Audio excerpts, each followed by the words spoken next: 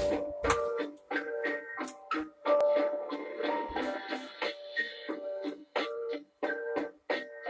that I'm seventy, in the year of 23, look back at all the treasonous fools of the GOP.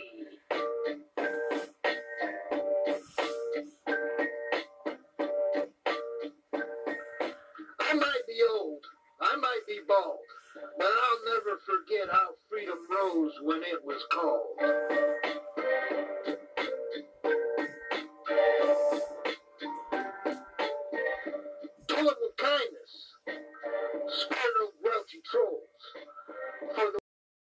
war has got to go.